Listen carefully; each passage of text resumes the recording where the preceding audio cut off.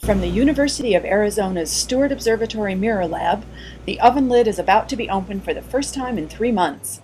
This will reveal the primary and tertiary mirrors of the Large Synoptic Survey Telescope, or LSST. The glass has been cooling and annealing in the oven since high fire in March of 2008. The oven lid was lifted at 10 a.m. on July 23rd to reveal a perfect casting. Nearly 26 tons of glass melted and spun into the approximate curvature of the telescope's mirrors. Interested onlookers hold their breath and watch the lid being lifted to its parking space on the casting mezzanine.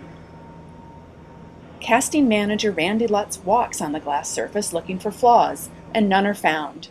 Mirror development will now continue with a full disassembly of the furnace, a clean out of the refractory, and then onto grinding and polishing.